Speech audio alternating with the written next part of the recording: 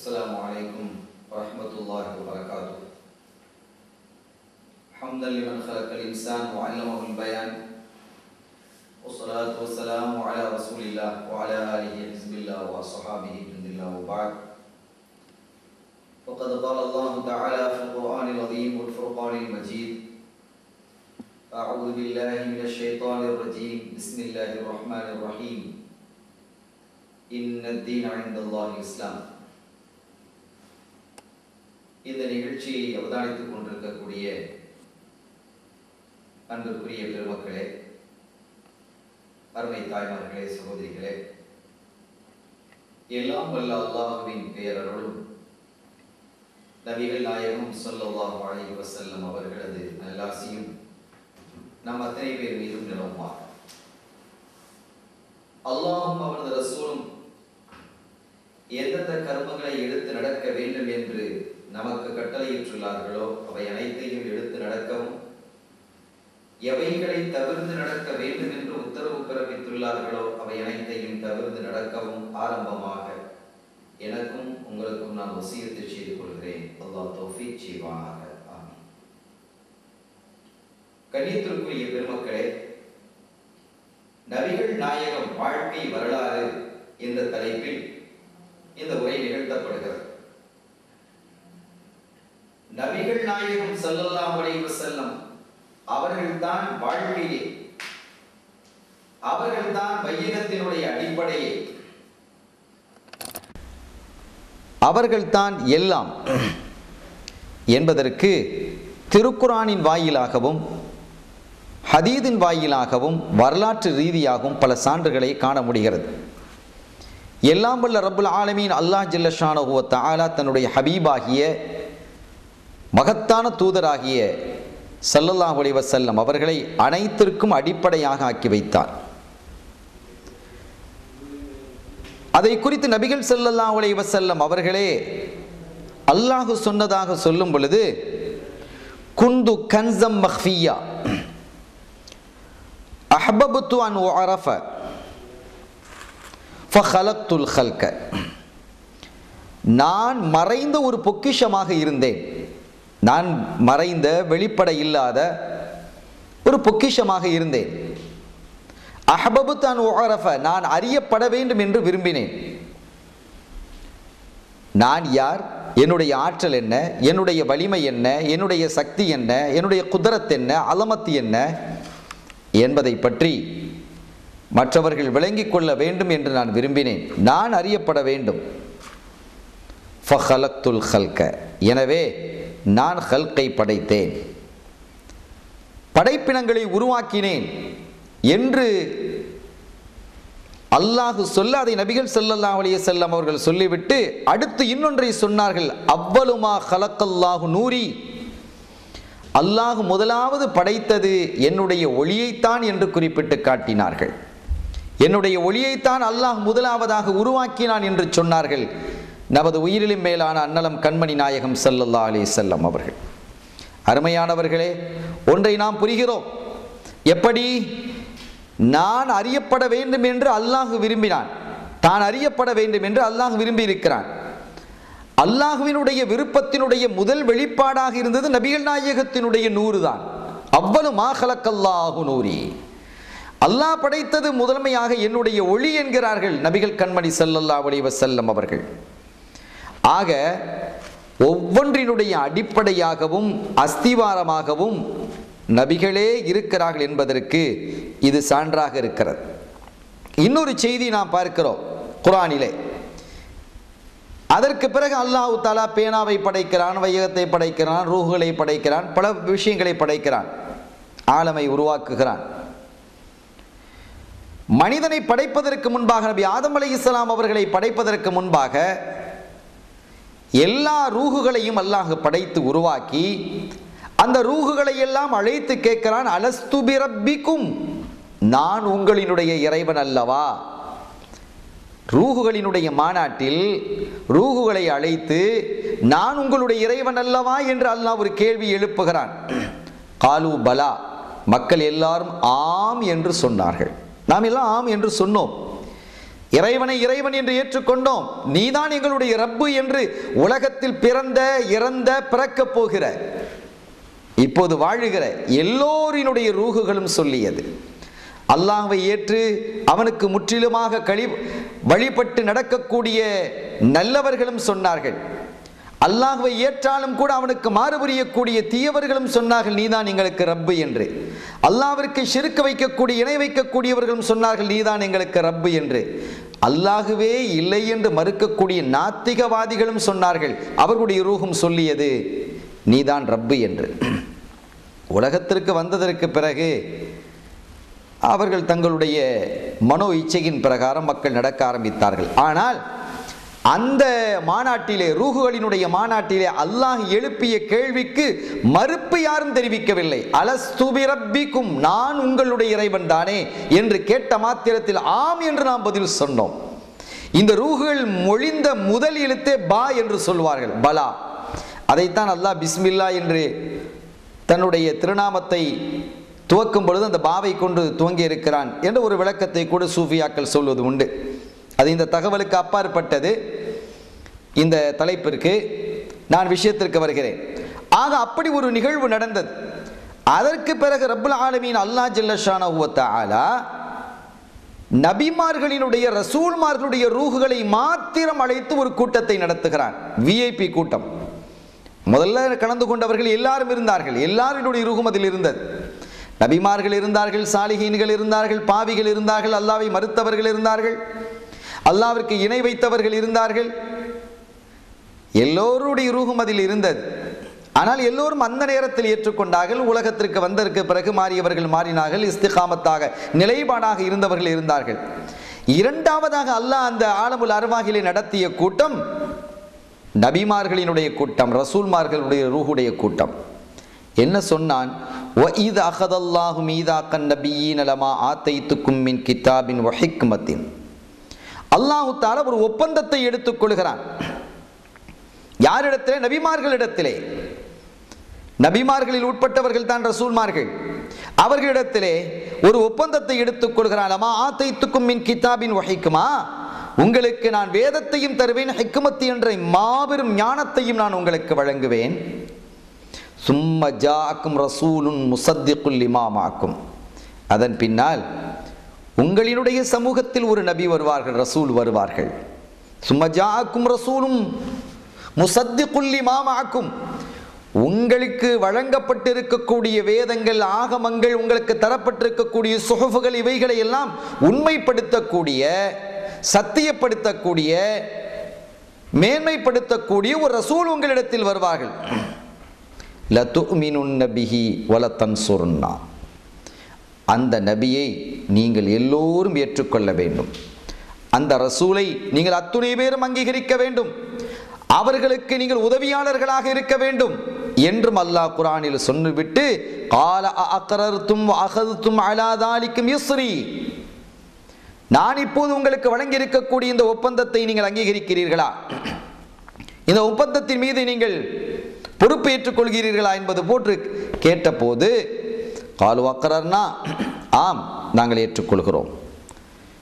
நாங்கள் அங்கீகரிக்கிறோம் ரப்பே அல்லாஹ்விடத்தில் இறுதியாக வரக்கூடிய அந்த நபியை நாங்கள் ஈமான் கொள்ளுவோம் அவர்களுக்கு உதவியாளர்களாக நாங்கள் இருப்போம் என்று ரப்பிடத்திலே நபிமார்களுடைய ரூகுகள் இக்கரார் செய்கிறது ஒப்பந்தத்தை ஏற்றுக்கொள்கிறது. கால ஃபஷ்ஹது வானமாக்கும் ஷாஹிதீன். அப்படி ஒப்பந்தம் நிறைவேறும் பொழுது அல்லாஹ் சொன்னான் நீங்கள் சொன்னவைகளுக்கு நீங்களே சாட்சியாக இருங்கள் நீங்கள் சொன்னவைகளுக்கு நீங்களே சாட்சியாக இருங்கள் வானமாக்கும் என ஷாஹிதீன். நானும் உங்களோடு இணைந்து ஒரு சாட்சியாளனாக இருக்கிறேன். என்று எல்லாம் வல்ல ரபுல் ஆலமீன் அல்லாஹ் ஜில்லஷானுவத் ஆலா தாலா அவனுடைய திருமறையிலே சூரத் ஆல் இம்ரானில் இதை குறிப்பிட்டு காட்டுகிறான். என்ன புரிகிறோம் நாம் இதிலிருந்து? என்ன செய்தி நமக்கு விளங்குகிறது? அல்லாஹ் அந்த ஆலமுல் அருவாகில் தனக்காக ஒரு கூட்டத்தை நடத்தி அதில் எல்லோரையும் அழைத்து அமர வைத்து ரூகுகளை அமர வைத்து நான் இறைவன்தானே என்று கேட்டபோது அந்த ரூகுகள் எல்லாம் அங்கீகரித்து கொண்டது. அதே போன்று இன்னொரு கூட்டத்தை நடத்துகிறான். யாருக்கு? தன்னுடைய ஹபீப் முஹம்மதுன் சல்லல்லாஹு அலைவசல்லம் அவர்களுக்காக ஒரு கூட்டத்தை நடத்தி நபிமார்களுக்கு மத்தியிலே ஒப்பந்தத்தை வாங்குகிறான். அவர்களை நீங்கள் ஈமான் கொள்ள வேண்டும் என்று. அவர்களினுடைய பணியாளர்களாக அவர்களுக்கு உதவியாளர்களாக நீங்கள் இருக்க வேண்டும் என்று. ஒப்பந்தம் செய்ததோடு மாத்திரமல்லாமல் அந்த நபிமார்களையே அதற்கு ஒருவருக்கு ஒருவர் சாட்சியாக ஆக்கி ஒரு நபி சொன்னதற்கு இன்னொரு நபி சாட்சி. இந்த நபி சொன்னதற்கு அந்த நபி சாட்சி. அந்த நபி சொன்னதற்கு இந்த நபி சாட்சி என்று சாட்சியாக ஆக்கியதோடு மாத்திரமல்லாமல் நானும் உங்களோடு சாட்சியாளனாக இருக்கிறேன் என்று ரப்பே குறிப்பிட்டு காட்டுகிறான் என்றால் கண்மணி நாயகம் பொன்மணி ஸல்லல்லாஹு வளைவ செல்லம் அவர்களுடைய அந்தஸ்து எவ்வளவு உயர்ந்தது அவர்கள்தான் எல்லாவற்றுக்கும் அடிப்படை என்பதை இந்த தகவல்கள் நமக்கு தெளிவுபடுத்தவில்லையா? இந்த தகவல்கள் இந்த செய்தியை சொல்லுவதற்கு போதுமானது இல்லையா? எவ்வளவு அற்புதமாக அல்லாஹ் இந்த விஷயத்தை சொல்லி காட்டுகிறான். குந்து நூரன் பைன எதை ரப்பி கபல ஹல்கி ஆதம் அலிஹிஸ்லாம் பி அர்பஅத் அஷர அல்ஃப ஆமின். சீரத்துல் ஹலபியாவில் ஒரு செய்தி இடம்பெறுகிறது. நபிகள் செல்லல்லாம் உலைவ செல்லம் அவர்களே சொல்லுகிறார்கள் குந்து நூரம் பைன எதை ரப்பி என்னுடைய ரப்பினுடைய சமூகத்திலே அவனுக்கு முன்பாக நான் நூறாக பிரகாசித்துக் கொண்டிருந்தேன். ஒளி பிழம்பாக இருந்தேன். அவனுக்கு முன்பாக அவனுடைய திருச்சமூகத்திலே நான் ஒளியாக பிரகாசித்துக் கொண்டிருந்தேன். எப்போது? கபல ஹல்கி ஆதம். ஆதம் அலைஹிஸ்ஸலாம் அவர்கள் படைக்கப்படுவதற்கு முன்பாகவே நான் ஒளியாக இருக்கிறேன். பி பதினான்காயிரம் ஆண்டுகளுக்கு முன்பாக. பதினாயிரம் ஆண்டுகளுக்கு முன்பாக நானே ஒளியாக நூறாக ரப்புல் ஆலமீன் அவனுக்கு முன்பாக நான் பிரகாசித்துக் கொண்டு இருந்தேன் என்று அன்னலம் கண்மணி நாயகம் ஸல்லல்லாஹு அலைஹி செல்லம் அவர்கள் குறிப்பிடுகிறார்கள். அத்தகைய ரசூல் ஸல்லல்லாஹு அலைஹி செல்லம் அவர்களை நபியாக பெற்றிருப்பது அவர்களை ரசூலாக பெற்றிருப்பது நமக்கு கிடைத்த மாபெரும் பாக்கியம் அல்லவா? இந்த சமூகத்திற்கு கிடைத்துவிட்ட ஒரு அற்புதமான பாக்கியம் அல்லவா? அந்த நபியினுடைய உம்மத்தாக இருப்பதற்கு நாம் கொடுத்து வைத்தவர்கள் அல்லவா? சங்கைக்குரியவர்களே அந்த நபிகள் ஸல்லல்லாஹு அலைஹி வஸல்லம் அவர்கள் அதற்கு பிறகு ரப்புல் ஆலமீன் அந்த நூரை நபியினுடைய நூரை ஆதம் நபி அலைஹிஸ்ஸலாம் உடைய நெற்றியிலே இலங்க வைத்தான். அப்படி இளங்க வைத்துத்தான் மலக்குமார்களை பார்த்து சுஜூது செய்ய சொன்னான். ஃபசஜதல் மலாயிகத்து குல்லு ஆதம் நபியை கிபிலாவாக ஆக்கி அந்த கிபிலாவினுடைய நெற்றியிலே நபிகளுடைய நூரை ஆக்கி வைத்து சுஜூது செய்ய சொன்னான். சுஜூது செய்த எல்லா மலக்குமார்களும் சுஜூது செய்தார்கள் இல்லா இப்ளீஸ் அபா வஸ்தக்பர வக்கான மினல் காஃபிரின். அவன் பெருமை அடித்தான். அவனுடைய உள்ளத்தில் பொறாமை குணம் ஏற்பட்டது. எப்போதோ தோன்ற இருக்கக்கூடிய முஹம்மதுன் ஸல்லல்லாஹு அலி வசல்லம் அவர்களுக்கு நெருப்பினால் படைக்கப்பட்ட நான் என்ன சுஜூது செய்வது என்று அவன் ஆதமை பார்த்தான். ஆதமினுடைய தோற்றத்தை பார்த்து இப்படி ஒரு குறையை ஏற்படுத்தினான். அருமையான பெருமக்களே அந்த நூர் ஆதம் நபி அலை இஸ்லாம் அவர்களுடைய அந்த நெற்றியில் இலங்கிய நூர் செய்தத்தின் அதற்கு பிறகு படைக்கப்பட்ட ஹவ்வா ஹஸ்ஸலாம் அவர்களினுடைய வயிற்றிலே சென்று அதற்கு பிறகு அவர்களுடைய மகனாகிய ஷீத் அலைஹிஸ்ஸலாம் அவர்கள் வழியாக வாழையடி வாழையாக பரிசுத்தமான தூய்மையான சங்கை மிகுந்த மாண்பாளர்களினுடைய வழியிலேயே அது வந்து கொண்டிருந்தது. அந்த நூர் அதை அல்லாஹ் அழகாக சொல்லுவான். ஒ தக்கல்லுபு கஃபிஸ் சாஜிதீன். இறைவனுக்கு பணிந்து வணங்கக்கூடியவர்கள் சுஜூது செய்யக்கூடியவர்களில் உங்களை நாம் அப்படியே பிரட்டி கொண்டு வந்தோம் என்கிறான். ஒ தக்கல்லுபு கஃபிஸ் சாஜிதீன். அல்லாவிற்கு முற்றிலுமாக வழிபட்டு சுஜூது செய்யக்கூடிய பணிந்து விட்ட முற்றிலுமாக தங்களை அர்ப்பணித்து விட்ட அந்த அர்ப்பணிப்பாளர்கள் பரிசுத்தவான்கள் தூயவர்கள் வழியாக நாம் உங்களை கொண்டு வந்தோம் என்று ரபுல் ஆலமீன் அல்லாஹ் ஜல்ல ஷானஹுவ தாலா அவனுடைய அருள்மறையாம் திருக்குரானில் குறிப்பிடுகிறான். ஆதம் நபி அலைஹிஸ்ஸலாம் அவர்கள் படைக்கப்பட்ட போது சுவனத்தினுடைய வாயிலில் லாயிலாக இல்லல்லா முஹம்மது ரசூலுல்லா என்று எழுதப்பட்டிருக்கிறது. இது என்ன லா இல்லல்லா என்பது எனக்கு புரிகிறது. உன்னோடு இணைந்திருக்கக்கூடிய முஹம்மதுர் ரசூலுல்லா என்ற ஒரு பெயரை இணைக்க வைத்திருக்கிறாயே அது யார்? லௌலா லௌலா அவர்கள் இல்லை என்று இருக்குமே ஆனால் உங்களை நான் படைத்திருக்க மாட்டேன். லௌலாகுமா ஹலக்கக் அவு கால் அவர்கள் இல்லை என்றால் நான் உங்களை படைத்திருக்க மாட்டேன் என்று அல்லாஹு சொன்னான். யாரை பார்த்து? ஆதம் அலைஹிஸ்ஸலாம் அவர்களை பார்த்து. அந்த செய்தியிலிருந்து நமக்கு புரிகிறது அவர்கள் இருந்தார்கள் உங்களை நான் படைத்தேன். ஆக இதெல்லாம் நபிகள் செல்லல்லாஹு அலைஹி வசல்லம் அவர்கள் முன்பே இருந்திருக்கிறார்கள் இருந்து கொண்டிருக்கிறார்கள் இருந்து கொண்டே இருக்கிறார்கள் இருந்து கொண்டே இருப்பார்கள் எல்லா காலமும். அல்லாஹ் இப்படியும் சொல்லுவான் வாழமு அன்னஃபீக்கும் ரசூல் அல்லாஹ் அறிந்து கொள்ளுங்கள். உங்களில் ரசூல் ஸல்லல்லாஹு அலைஹி அவர்கள் இருந்து கொண்டே இருக்கிறார்கள். வாழமு அன்னஃபீக்கும் ரசூல் அல்லாஹ் உங்களில் அல்லாவின் திருத்தூதர் இருந்து கொண்டிருக்கிறார்கள் என்று அல்லாஹ் குறிப்பிடுகிறான். இப்போதும் இருக்கிறார்கள். சங்கையான பெருமக்களே ஆக முதலாவது படைக்கப்பட்டது நபியினுடைய நூர். ஆரம்ப காலத்திலே இருக்கிறார்கள். ஒரு சஹாபி வந்து நபிகளிடத்தில் கேட்கிறார்கள் மத்தா குந்த நபியா? நாயகமே நீங்கள் எப்போது நபியாக இருந்த இருந்தீர்கள்? நீங்கள் நபியாக எப்போது ஆனீர்கள்? என்று கேட்ட மாத்திரத்தில் அவர்கள் சொன்னார்கள் வாதமு பைனல் மாயு ஒத்தியின் குந்து நபியன் வாதமு பைனல் மாயு ஒத்தீன்.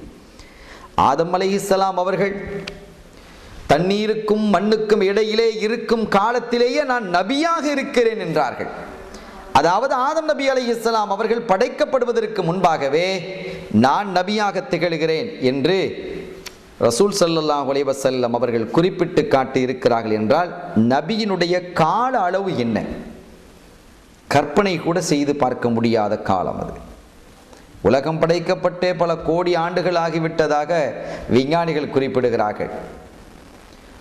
அதற்கு முன்பாகவே நபிகள் செல்லல்லாஹ் அலைஹி செல்லம் இருக்கிறார்கள். நபியினுடைய ஒளியிலிருந்து தான் இவைகள் எல்லாம் படைக்கப்பட்டிருக்கிறது என்பதை நாம் ஒத்துக்கொண்டிருக்கிறோம். அது மாத்திரமல்ல. நபிகள் செல்லல்லாஹ் அலைஹி செல்லம் அவர்களை கொண்டு நபிமார்கள் ஈமான் கொள்ள வேண்டும் என்று அல்லாஹ் ஒப்பந்தம் வாங்கினான் என்ற வசனத்தை சொன்னோம். வலத்தன் சுருண்ணா அவர்களுக்கு நீங்கள் உதவியும் செய்ய வேண்டும் என்று அல்லாஹ் ஒரு ஒப்பந்தம் செய்து கொண்டான் என்பதையும் குறிப்பிட்டோம். ஈமான் கொள்வது என்ன என்பது நமக்கு புரிகிறது. முந்தி வந்த நபிமார்கள் எப்படி உதவி செய்வார்கள் நபிக்கு?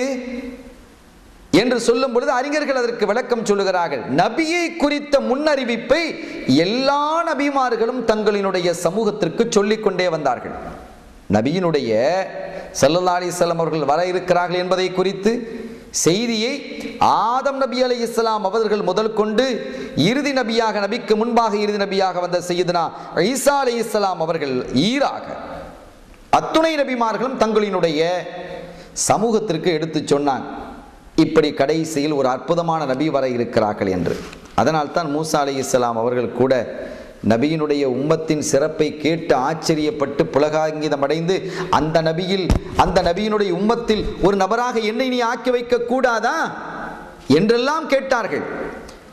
அந்த நபியினுடைய மகத்துவத்தை அந்த நபியினுடைய உம்மத்தின் சிறப்பை என்னுடைய சமூகத்திற்கு வழங்கக்கூடாதா என்று வேண்டி நின்றார்கள். இவையெல்லாம் ஹதீதுகளில் நாம் பார்க்க முடிகிறது. அருமையான பெருமக்களே இப்படியெல்லாம் நபியை பற்றிய முன்னறிவிப்பு செய்வது அந்த நபி சல்லாஹ் செல்லம் அவர்களுக்கு செய்யக்கூடிய உதவிகளில் உட்பட்டது. இப்படி நபிமார்கள் முன்னறிவிப்பு செய்ததினால் ஏற்பட்டதனுடைய நிலை என்ன? முந்தைய காலத்தில் வாழ்ந்த யூதர்கள் எல்லாம் கூட யுத்தங்களிலே கலந்து கொள்ளும் பொழுது நபி ஸல்லல்லாஹு செல்லம் அவர்களை முன்வைத்து உதவி தேடுவார்கள். வசீலா தேடி இருக்கிறார்கள் நபி பிறப்பதற்கு முன்பாகவே இந்த வையகத்தில் உதிப்பதற்கு முன்பாகவே. நபி உதித்த காலம் நபியினுடைய ஒளி உதித்த காலம் என்ன என்பதை நாம் சொல்லிவிட்டோம். அந்த காலத்தினுடைய அளவை நம்மால் சொல்ல முடியவில்லை சொல்ல முடியாது.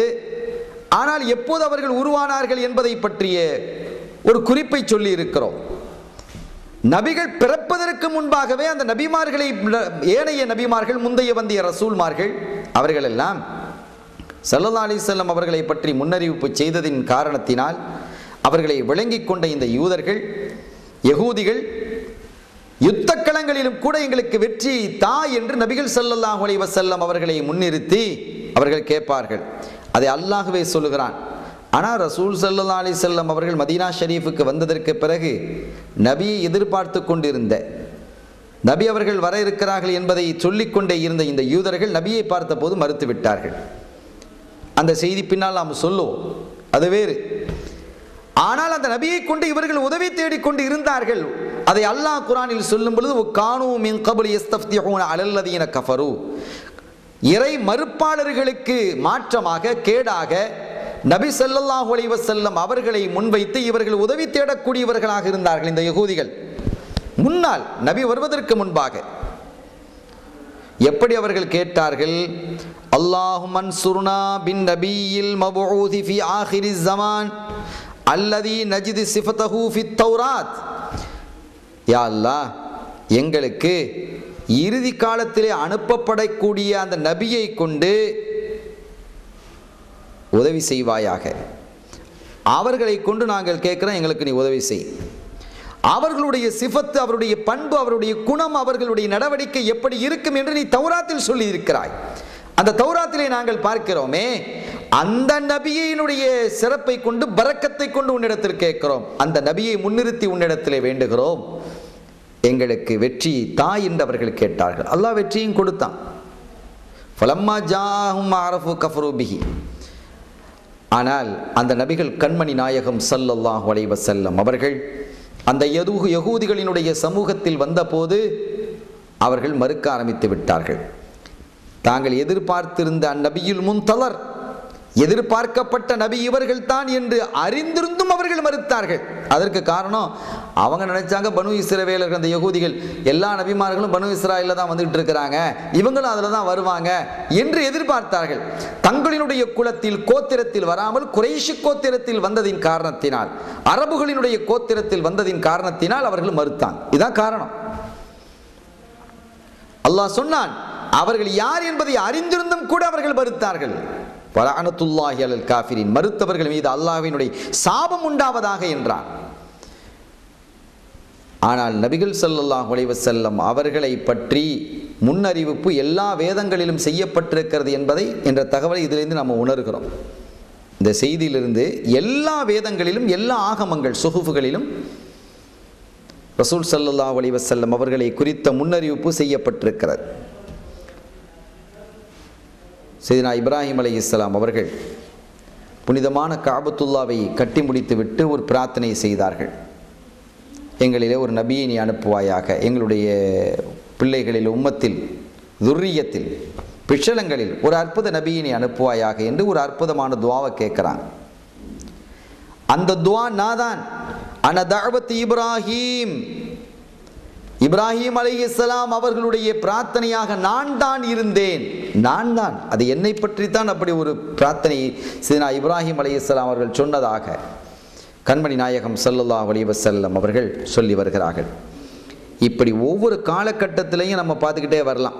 ரசூல் சல்லா அலிஸ்லாம் அவர்களை பற்றிய செய்திகளை ஒவ்வொரு நபிமார்களும் முன்னறிவிப்பு செய்ததை ஒவ்வொரு ரசூல்மார்களும் சொன்னதை அந்தந்த காலத்தில் ரசூல் ஸல்லல்லாஹு அலைஹி வஸல்லம் அவர்களுடைய நூறானியத்து இலங்கி வந்ததை எல்லாம் சுட்டிக்காட்டக்கூடிய பல வரலாற்று செய்திகளை நாம் கிரந்தங்களில் காண முடிகிறது. அவைகளையெல்லாம் விரித்துச் சொல்வதானால் நேரமும் அதற்கான காலமும் அதிகமாகிவிடும் என்பதால் நாம் சுருங்கச் சொல்லிக் கொண்டு வருகிறோம். சங்கையான பெருமக்களே நபி இப்ராஹிம் அலைஹிஸ்ஸலாம் அவர்கள் மக்காவிற்காக பிரார்த்தனை செய்தார்கள். மக்காவிற்காக பிரார்த்தனை செய்தபோது அந்த மக்கா செழிப்படைந்தது. நபி இஸ்மாயில் அலி இஸ்லாம் அவர்களுடைய சந்ததியினர் மூலம் கூட அங்கேயே குழுமி இருந்தார்கள் என்பதெல்லாம் வரலாற்று செய்தியிலே நமக்கு பிடிச்சி படிச்சிருக்கிறோம். இஸ்மாயில் அலி இஸ்லாம் அவர்களையும் ஹாஜர் அலி இஸ்லாம் அவர்களையும் நபி இப்ராஹிம் அலி இஸ்லாம் அவர்கள் மக்கா இருக்கக்கூடிய பகுதியிலே விட்டு சென்ற வரலாறெல்லாம் நமக்கு தெரியும். அதன் வாயிலாக அவர்களுடைய மக்கள் அந்த கோத்திரத்தார்கள் ஜுருகும் கிளையினர் அதிகமாகி பல்கி பெருகி நபி இப்ராஹிம் அலி இஸ்லாம் அவர்களுடைய துவாவின் காரணத்தினால் மக்காவிலே அதிகமான செழிப்பு ஏற்பட்டு வரக்கத்து ஏற்பட்டு மக்களினுடைய எண்ணிக்கையும் அதிகமாகி மக்காவில் இட நெருக்கடி ஏற்பட்டது. காலம் செல்ல செல்ல இஸ்மாயில் அலி இஸ்லாம் அவர்கள் ஃபாத்தானதற்கு பிறகு அதற்கு காலம் செல்ல செல்ல அந்த மக்கள் அப்படியே பல்கி பெருகி நிறைவாக ஆகி மக்கா மக்காவிலே இடமில்லாத அளவிற்கு மக்களினுடைய எண்ணிக்கை அதிகமான போது மக்காவை விட்டு வெளிச்செல்ல வேண்டும் வெளியே செல்ல வேண்டும் என்ற உணர்வு அந்த மக்கத்தில் வாழ்ந்த மக்களுக்கு ஏற்பட்டது. ஆனால் அவர்கள் செய்த ஒரு தவறு என்னவென்றால் மக்காவை விட்டு வெளியே செல்லும் பொழுது நாம் புனிதமான ஹரமிலிருந்து வெளியே செல்லுகிறோமே நாம் காபத்துல்லாவிற்கு முன்னால் நின்று வணங்கிக் கொண்டிருந்தோமே காபத்துல்லாவை தவாவு செய்து கொண்டிருந்தோமே இப்போது அந்த பாக்கியம் இல்லாமல் போய்விடுமே வெளியே சென்று விட்டால் என்ன செய்வது என்று அவர்கள் சிந்திக்கிறார்கள். அப்படி சிந்தித்ததனுடைய விளைவு ஒரு தவறு நடந்து விட்டது மக்காவிலிருந்து சில கற்களை எடுத்துக்கொண்டு அவங்க வெளியில் போக ஆரம்பித்தாங்க அந்த கற்களை எடுத்துக்கொண்டு அவர்கள் வெளியிலே சென்று அந்த கற்களையே வணங்க ஆரம்பித்தார்கள். ஷெய்தான் அப்படி அவர்களுடைய இதயங்களில் போட்டான். அந்த கற்களை என்ன செஞ்சாங்க? வணங்க ஆரம்பித்தாங்க வணங்க ஆரம்பித்ததோடு மாத்திரமல்லாமல் அது நாளடைவில் அது அந்த கற்கள் சிலை வடிவம் பெறுவ ஆரம்பித்தது. ஷைத்தான் அவர்களுடைய இதயங்களில் போட்டு அது அப்படி சில விஷயங்க இப்படி வாடிங்க. இந்த மாதிரி தோற்றத்தில் வடித்து வணங்குங்கள் என்றெல்லாம் அவருடைய கல்விலே போட்டு அந்த மக்களினுடைய நிலைகள் மாற ஆரம்பித்தது. ஆனால் வருடத்திற்கு ஒரு முறையோ இரண்டு முறையோ அல்லது சில வருடங்களுக்கு ஒரு முறையோ மக்காவிற்கு காபத்துல்லாவிற்கு அவர்கள் வருவார்கள் அந்த மக்கள். வரும்பொழுது என்ன செய்ய ஆரம்பித்தார்கள் என்றால் தாங்கள் கொண்டு சென்ற அந்த கல்களிலிருந்து உருவாக்கிய அந்த சிலைகளையும் கொண்டு வந்து மக்காவிலே வைக்க ஆரம்பித்தார்கள். இப்படித்தான் சிலைகள் காபத்துல்லாவர் ஹரம் காபத்துல்லாவை சுற்றி சிலைகள் இடம்பெற்ற செய்தி இப்படித்தான். ஜுர்ஹும் கிளையினுடைய ஆட்சி நடந்தது. ஆனாலும் அவர்களிடத்திலே நீதி நேர்மை குறைந்து போனது. அவர்களுடைய ஆட்சி காலத்திலே பிரச்சனைகள் ஏற்பட்டது. மக்களுக்கு அநியாயங்களை அவர்கள் செய்ய ஆரம்பித்தார்கள். இதையெல்லாம் பார்த்து ஹுசா என்று வாழ்ந்த மக்காவினுடைய பிரபல்யமான ஒரு கிளையினர் கோத்திரத்தார் அவர்களோடு சண்டையிட்டு அவர்களை துரத்திவிட்டு மக்காவினுடைய பொறுப்புக்கு அவர்கள் வந்தார்கள். ஆனால் இந்த ஜுருகும் கிளையினர் வெளியிலே செல்லும் பொழுது தங்கள் கையிலே இருந்த நிறைய பொக்கிஷங்கள் அவங்களோட கையில் நிறைய செல்வம் இருந்தது. அந்த செல்வத்தை எல்லாம் கொண்டு வந்து ஜம்சம் கிணற்றுக்குள்ளால் போட்டு அந்த ஜம்சம் கிணறையே மூடிவிட்டு சென்று விட்டார்கள். பின்னால் வந்த ஹுசா கிளையினரும் கூட அதை பற்றி சிந்திக்காமல் அதை பற்றி யோசனை எடுக்காமல் அந்த கிணற்றை தோன்ற வேண்டுமே என்ற எண்ணம் இல்லாமல் அப்படியே விட்டுவிட்டாங்க. நாளடைவில் என்ன ஆயிற்று என்றால் அப்படி ஒரு கிணறு இருந்ததாக கூட மக்களுக்கு தெரியாமல் போயிடுச்சு. அடுத்த சந்ததியினர் வரும் பொழுது ஏதோ ஒரு சின்ன ஒரு தகவலாக தான் இருந்ததை தவிர உறுதியான செய்திகள் இல்லாமல் போய்விட்டது. கடைசியில் அந்த செய்திகள் முற்றிலுமாக மறக்கப்பட்டு அப்படி ஒரு கிணறு காபாவிற்கு அருகிலே இருந்தது. என்ற செய்தியே தகவலே இல்லாமல் ஆகிவிட்டது மக்காவில் யாருக்கும் கூட தெரியாமல் போய்விட்டது. அப்படி ஒரு சூழல் உருவானது. இந்த ஹுசா கிளையினர் ஆரம்பத்தில் ஆட்சிக்கு வந்த போது அந்த தகவல் இருந்தது. இப்படி ஒரு ஜம்சம் கிணற மூடிட்டு போயிட்டாங்க. அதை நாம் தோண்டி எடுக்கணும். அந்த தகவல் இருந்தாலும் கூட தோண்டி எடுக்க வேண்டும். அதை தோண்டி பரிசுத்தப்படுத்தணுங்கிற எண்ணம் அவர்களுக்கு ஏற்படலை. ஆனால் அவர்களுக்கு அதற்குள்ளால் புதையல்கள் பொக்கிஷங்கள் தங்கங்கள் எல்லாம் போடப்பட்டிருக்கிறது என்பதெல்லாம் கூட அவங்களுக்கு தெரியாது. இருந்ததை தங்கத்தை பாதுகாக்க முடியாமல் காபத்துல்லாவிற்கென்று எத்தனையோ நேர்ச்சைகள் வந்தது. தங்கம்னா அந்த ஜுருகும் கிளையினருடைய சொத்துக்கள் அல்ல அது. காபத்துல்லாவிற்காக வந்த நேர்ச்சைகள் அவைகள். காபத்துல்லாவுக்காக வந்த அன்பளிப்புகள் அவைகள். அவைகளை எல்லாம் அவர்கள் என்ன செய்தார்கள்? இந்த ஜுருகும் கிளையினர் ஜம்சம் கிணற்றுக்குள்ளால் போட்டி போட்டு மூடிவிட்டு அவர்கள் என்ன செஞ்சிட்டாங்க? போயிட்டாங்க. க- ஜம்சம் கிணறையே மூடிட்டாங்க. நாளடைவில் அப்படி ஒரு கிணறு இருந்ததாகவே தெரியவில்லை.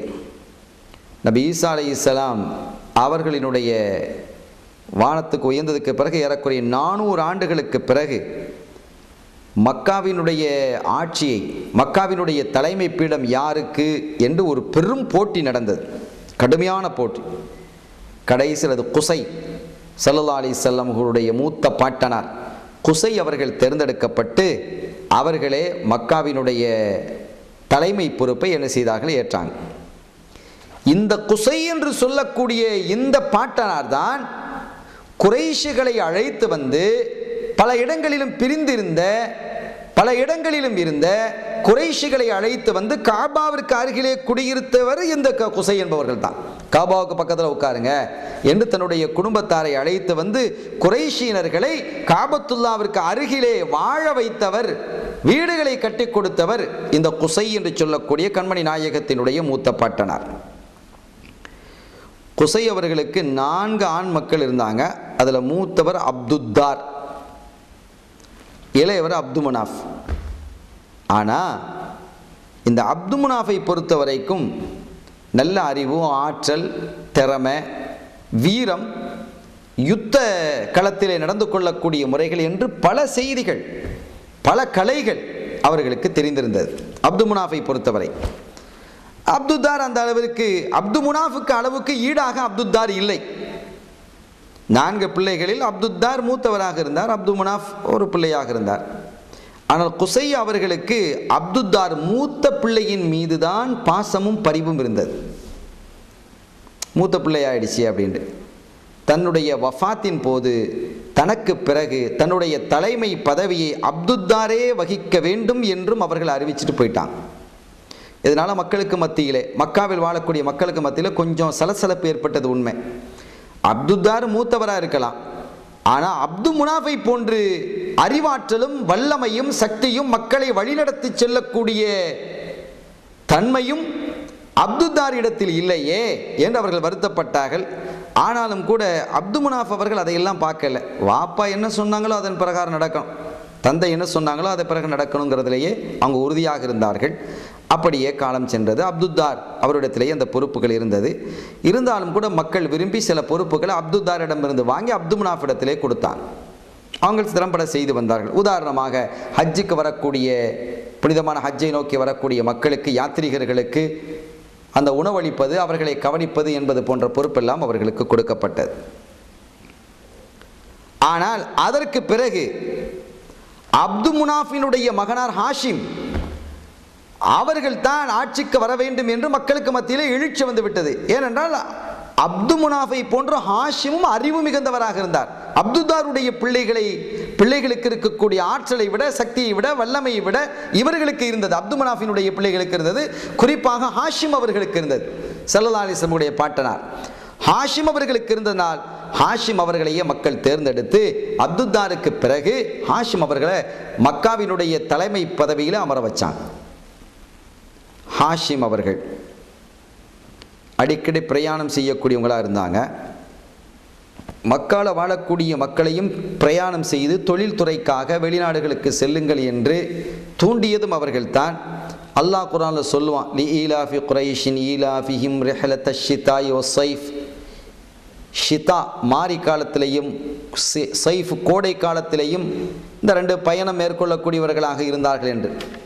அந்த மாரி காலத்தை பொறுத்தவரை அவர்கள் வடமேற்கு அரபு அரபகத்தினுடைய வடமேற்கு பகுதியிலே போய் வியாபாரம் செஞ்சுட்டு வருவாங்க அரபுகள். அதே மாதிரி செய்ஃப் என்று சொல்லக்கூடிய அந்த கோடை காலத்தில் தான் வடமேற்கு அரப அரபகத்தினுடைய வடமேற்கு பகுதிக்கு போனாங்க. அந்த ஷிதா என்ற மாரி காலத்திலே யமனுக்கு அவங்க என்ன செய்தார்கள்? போய் வியாபாரம் செய்து கொண்டு வந்தார்கள். இப்படி இந்த இரண்டு பிரயாணத்தை நாம் அவர்களுக்கு ஏற்படுத்தி கொடுத்தோம் என்று அல்லாஹ் சொல்கிறான் அது யார் மூலமாக ஏற்படுத்தி கொடுத்தான் என்று சொன்னால் இந்த ஹாஷிம் மூலமாகத்தான். அவர்தான் இந்த பிரயாணத்தை ஊக்குவித்தவர். அவர் மூலமாகத்தான் இந்த பிரயாணம் ஏற்பட்டு மக்காவிலே வாழக்கூடிய குறைஷிகளுக்கு அரபுகளுக்கு மிகுந்த வருவாய் கிடைத்தது இந்த பிரயாணத்தின் மூலமாக இந்த வியாபார யாத்திரையின் மூலமாக. ஹாஷிம் அவர்களும் அடிக்கடி பிரயாணம் மேற்கொள்ளக்கூடியவர்களாக இருந்தாங்க.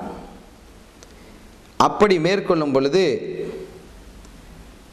ஒரு சமயம் எத்ரிப் மதீனா சல்லா அலைஹி செல்லம் அவர்கள் மதீனாவிற்கு எத்ரிபுக்கு வந்ததற்கு பிறகு அந்த ம மதீனத்து நபி என்று அது பெயர் வந்துவிட்டது அது எத்ரிப் என்று சொல்வதை கூட அவ்வளோ ஒரு சிறப்பான ஒன்றல்ல அந்த ஊர். அப்படி ஒரு பெயர் இருந்ததாக குரானும் சொல்லுகிறது. யாகல எத்ரிப் குரா எத்ரிப் வாசிகளேன். இந்த எத்ரிப்பை பொறுத்தவரை இப்போது மதீனத்து நபி ரசூலுல்லாவினுடைய பட்டணமாக மாறிவிட்டது. ஆக இந்த ஹிஷா ஹாஷிம் அவர்கள் எஸ்ரிபுக்கு போகும் போ போகும் வழியாக இந்த யவனுக்கு போகிற வழியில் எஸ்ரிபுக்கும் போயிட்டு போவாங்க. அந்த வழியாக தான் போவாங்க. போகும் பொழுது அங்கே ஒரு பெண்ணை அவர்கள் திருமணம் முடித்தார்கள். சலமா என்ற ஒரு பெண்ணை திருமணம் முடிக்கிறான் இங்கேயும் மக்காவிலையும் கல்யாணம் முடிச்சிருக்கிறாங்க. மதீனாலையும் ஒரு கல்யாணம் முடித்தாங்க கல்யாணம் முடித்து அங்கேயும் ஒரு குழந்தை ஆண் குழந்தை அவர்களுக்கு பிறந்தது. அதை பற்றி எல்லாம் அவர்கள் மக்களுக்கு மத்தியில் மக்கால் வாழக்கூடிய மக்களுக்கு மத்தியில் அது தெரியாது. அவ்வளோ ஒரு பிரபல்யமாக இல்லை. அங்கே ஒரு கல்யாணம் முடிச்சிருக்கிறாங்க. அங்கே பிள்ளை பிறந்திருக்குது. எல்லாம் உண்மையாக இருந்தாலும் கூட அந்த தகவல் எல்லாம் இங்கே தெரியாது. இவர்கள் அங்கே போகும் பொழுதும் யமனுக்கு போகும் பொழுதும் வரும் பொழுதெல்லாம் அந்த மதீனாவிலே தன்னுடைய மனைவி மக்களோடு இருந்து சந்தோஷமாக இருந்துவிட்டு அவர்களுக்கு கொடுக்க வேண்டியதெல்லாம் கொடுத்துவிட்டு அவர்களுக்கு செய்ய வேண்டிய ஹக்குகளை எல்லாம் நிறைவேற்றிவிட்டு அவர்கள் தாய் என்ன செய்வாங்க? தாயகம் திரும்பி வருவாங்க. ஹஷிம் மக்காவுக்கு திரும்பி வருவாங்க. இப்படி நாளடைவில் இது அவங்களுடைய குடும்பத்தில் உள்ளவர்களுக்கு மட்டும்தான் தெரியும்.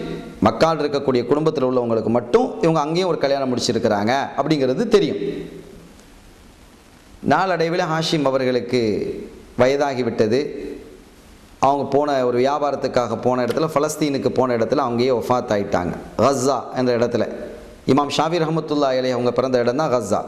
அந்த கஸ்ஸாங்கிற இடத்துல தான் ஹாஷிம் அவர்கள் ரசூல் சல்லா அலிஸ்லமுடைய பாட்டனார் ஹாஷிம் அவர்கள் என்ன செய்திருக்கிறார்கள்? அடக்கம் செய்யப்பட்டிருக்கிறார்கள். அதற்கு பிறகு இந்த மக்காவினுடைய பொறுப்புக்கு யார் வந்தார்கள் என்று சொன்னால் ஹாஷிம் அவர்களுடைய சகோதரர் முத்தலிப். ஹாஷிம் அவர்களுக்கு முத்தலிப் என்று ஒரு சகோதரர் இருந்தார். பல சகோதரர்கள் அதில் ஒரு சக முத்தலிப் என்று ஒரு சகோதரர். அந்த முத்தலிப் அவர்கள் தான் அந்த ஆட்சிக்கு வர்றாங்க. ஆள் நல்ல ஆள். நல்ல ஓரளவு திறமையான ஆள் ஒரு கண்ணியமான ஆள். அவங்க தான் அந்த ஆட்சி பொறுப்பில் இருக்கிறாங்க. ஆனாலும் கூட இந்த புனிதமான யாத்திரிகளாக வரக்கூடிய ஹாஜிகளை கவனிக்கிறது அவர்களை வழிநடத்தி செல்வது என்பது போன்றவைகளை செயல்படுத்துவது முடியாமல் அவங்களுக்கு அவ்வளோ முடியல. யாருக்கு? முத்தலிபுக்கு முடியல. இவங்க யோசித்தாங்க இதுக்கு ஒரு சரியான ஆட்களை கொண்டு வரணும். ஹாஷிமனுடைய பிள்ளைகள் இருக்கிறாங்க. ஹாஷிம் அவருடைய சகோதரர்கள் நாங்களும் இருக்கிறோம். இருந்தாலும் கூட இந்த செம்மையாக செயல்படுத்தி செல்லக்கூடிய ஒரு ஆற்றல் யாருக்கு இருக்கிறது? நம்முடைய குடும்பத்தில். நம்பர் ஒன் யார் என்பதை என்ன செஞ்சாங்க? அலசி ஆராய்ஞ்சாங்க. ஆராய்ந்ததில் முத்தலிப் ஒரு முடிவுக்கு வந்தார். இங்கே இருக்கக்கூடிய மனைவிமார்களுக்கு பிறந்தவர்களை பிள்ளைகளை விட இங்கே இருக்கக்கூடிய சகோதரர்களை விட மதீனாவில் இருந்த அந்த சலமாவின் மூலமாக பிறந்த ஷெய்பா அந்த குழந்தை பேர் ஷெய்பா. இப்போ ஷெய்பா வளர்ந்து பெரிய ஆளாக இருக்கிறார். அவருடைய திறமை அவருடைய ஆற்றல் ஏன்னா நல்ல உயர்ந்த குடும்பம் மாத்திரமல்ல அந்த சல்மா சலமா என்று நாம் சொல்லக்கூடிய அந்த பெண்மணியும் கூட நல்ல ஆற்றல் மிகுந்த ஒரு பெண்மணி. அறிவு மிகுந்த ஒரு பெண்மணி. மிகப்பெரிய வல்லமையும் சக்தியும் அந்த பெண்ணிடத்தில் இருந்தது. நல்ல கல்வி அறிவு இருந்தது. அதை மூலமாக தன்னுடைய பிள்ளைகளுக்கு நன்றாக ஊற்றி ஷெய்பாவை நல்ல திறமை மிக்க ஒரு பிள்ளையாக வளர்த்துருக்கிறாங்க அப்போ முத்தலிபு பார்த்தாங்க நம்மை விட நம்முடைய சகோதரர்களை விட ஹாஷிமினுடைய மக்களை விட ஹாஷிமினுடைய மக் மகனாக இருக்கக்கூடிய ஷைபா தான் இந்த தலைமை பதவிக்கு பொருத்தமாக அமைவார் என்று கருதி என்ன செய்தார் என்று கேட்டால் நேராக மதீனாவுக்கு போனாங்க. யாரும் முத்தளிப்பு போகிறாங்க போய் அங்கே போய் தன்னுடைய சகோதரர் மனைவி இடத்துல அம்மா இந்த மாதிரி மக்காவினுடைய பொறுப்பு என்பது ரொம்ப உயர்ந்தது. காபத்துல்லாவை ஹிதுமத்து செய்வது இந்த ஹிதுமத் செய்யக்கூடிய பணிக்கு தலைமை ஏற்பது என்பது பெரும் பாக்கியம் இறைவன் வழங்கி இருக்கக்கூடிய ஒரு பெரும் பாக்கியம். அங்கே வரக்கூடிய ஹஜ்ஜுக்காக வரக்கூடிய யாத்திரிகர்களுக்கு ஹிதுமத்து செய்வது அந்த பொறுப்பை ஏற்பது தலைமை பதவி ஏற்பது என்பது பெரிய பாக்கியம். இதெல்லாம் இப்போ என் கையில் தான் இருக்குது அதனால் என்னால் முடியல. எனக்குரிய ஆற்றல் இல்லை. சரி எனக்கு முடியலன்னு சொன்னால் உங்களுடைய கணவர் ஹாஷிம் என்னுடைய சகோதரர் அவருக்கு ம- பல சகோதரர்கள் இருக்கிறோம் நாங்கள். எங்களுக்கும் முடியும் எங்களை யாருக்கும் அது ச- சாத்தியம் இல்லை சரி ஹாஷிமுடைய பிள்ளைகள் மக்காவில் இருக்கிறாங்க. ஓரிரு மனைவிகள் மூலமாக பிறந்த பிள்ளைகள் இருக்கிறாங்க. அவர்கள் திறமை மிக்கவர்களாக இருந்தாலும் கூட இந்த முழு மக்காவையும் ஆளுமை செய்யக்கூடிய அளவிற்கு அவர்களிடத்தில் ஆற்றல் இருப்பதாக நான் உணரலை. அந்த முழு ஆற்றலும் என்னுடைய சகோதரனுடைய பிள்ளையாகிய உங்கள் மகனாகிய ஷைபாவிடத்தில் இருப்பதாக நான் உணர்கிறேன். அதனால் அந்த ஷெய்பாவை எப்படியாவது எங்கள் மக்காவுக்கு நீங்கள் அனுப்பணும். அதன் மூலமாக இந்த தலைமை பதவி அவருக்கு கிடைக்கும். ஒரு கண்ணியம் வாய்ந்த ஒரு தலைவராக அவர்கள் திகழலாம் என்பதை எல்லாம் மீண்டும் மீண்டும் மீண்டும் எடுத்துச் சொல்லி சலமா அவர்களும் மிகுந்த பிறகு மிகுந்த யோசனைக்கு பிறகு சிந்தனைக்கு பிறகு இது சரியான ஒரு முடிவுதான் என்று விளங்கிக் கொண்டு தன்னுடைய மகனை ஷெய்பாவை முத்தலிபோடு அனுப்புவதற்கு என்ன செஞ்சாங்க? ஒத்துக்கிட்டாங்க. ஒத்துக்கிட்டு மகனாக அனுப்பி வைக்கிறாங்க. தேவையான பொருட்கள்லாம் கொடுத்து அனுப்பி வைக்கிறாங்க. இங்கே முத்தலீபுக்கு ரொம்ப சந்தோஷம். ஆகா நம்ம போன காரியம் ரொம்ப இலகுவில் முடிந்து விட்டது. நாம் எதிர்பார்த்ததை விட சீக்கிரமாக முடிந்துவிட்டு இந்த சல்மா ஒப்புக்கொள்வாங்களா இல்லையோ என்ற சந்தேகத்தோடு தான் போனாங்க. ஏன்னா மகனை விட்டு பிரியுதுங்கிற கஷ்டம். அது நல்ல திறமை மிக்க ஒரு மகனாக இருக்கிறார். ஆனால் சொல்லப்பட்ட அந்த செய்தி முத்தலிபின் மூலமாக சலமா அவர்களிடத்திலே சொல்லப்பட்ட செய்தி மக்காவினுடைய தலைமை என்பது உலகத்திலேயே ஒரு பெரிய தலைமை அது. ஒரு பெரிய பாக்கியம் அது. அந்த பாக்கியத்தை உங்கள் மகனுக்கு நான் வழங்க வேண்டும் என்று நானும் என்னுடைய குடும்பத்தை சார்ந்தவர்களும் விரும்புகிறோம். அதனால் நீங்கள் மகன் அனுப்பி வைக்கணும் என்றெல்லாம் கேட்டு அவங்களுடைய மனதை ஓர்மைப்படுத்தி அவங்களுடைய மகனார அதாவது தன்னுடைய சகோதரர் மகனை ஹாஷிமுடைய மகனை ஷெய்பாவை அழைத்து கொண்டு வர்றாங்க. தன்னுடைய ஒட்டகத்தின் மீது ஏறிக்கொண்டு. ஒட்டகம் மக்காவுக்குள்ளே வருது இப்போ. ஒட்டகம் மக்காவுக்குள்ளே வருது ஒரு சில ஒட்டகங்கள் கூட வருது அதெல்லாம் பொருள்கள் இருக்கிறது. ஒரே ஒட்டகத்தில் முத்தலிபும் ஷெய்பா அவர்களும் உட்கார்ந்துருக்கிறாங்க. உட்கார்ந்துட்டு இருக்கும்போது இவங்க பார்க்குறாங்க ஒரு புதிய ஆள் மக்காவாசிகள்லாம் பார்க்குறாங்க இது யார் புதிய ஆளாக இருக்கிறாரு? முத்தலிபோட நம்முடைய தளபதி. இந்த மக்காவினுடைய தலைமை அப்போது முத்தலிப் அவர்களிடத்தில் இருக்குது. இது புதிய ஆளாக இருக்கிறாரு யார் யார் யார் என்றெல்லாம் விசாரிக்கிறாங்க. அப்போ அவங்களுக்குள்ளே பேசிக்கிறாங்க முடி ஒரு முடிவுக்கு வந்துக்கிறாங்க இது முத்தலிபினுடைய அடிமை. இது முத்தலிபினுடைய அடிமை அப்துல் முத்தலிப் என்று பேரை வச்சான். இவர் அப்துல் முத்தலிபு அப்துல் முத்தலிப் முத்தலிபினுடைய அடிமை. என்னங்க அப்போ அவர் சொன்ன முத்தலிபு சொல்கிறார் இது என் அடிமை இல்லப்பா என்னுடைய சகோதரர் மகன். இந்த நாட்டினுடைய இந்த பூமியினுடைய ரத்தம் ஹாஷிமனுடைய பிள்ளை. முத்தலிபாக இருக்கக்கூடிய நான் ஹாஷிமுடைய சகோதரனாக இருக்கிறேன் என்றால் இதோ இவர் ஷெய்பா இவர் முத்தலிப் ஹாஷிமினுடைய பிள்ளையாக இருக்கிறார் மகனாக இருக்கிறார். அவரை தான் நான் அழைத்து கொண்டு வந்திருக்கிறேன். அவங்க மதியனால பிறந்த ஒரு பிள்ளை மதியனால ஒரு கல்யாணம் என்னுடைய சகோதரர் கட்டியிருந்தார் என்ற செய்திலாம் சொன்னாங்க.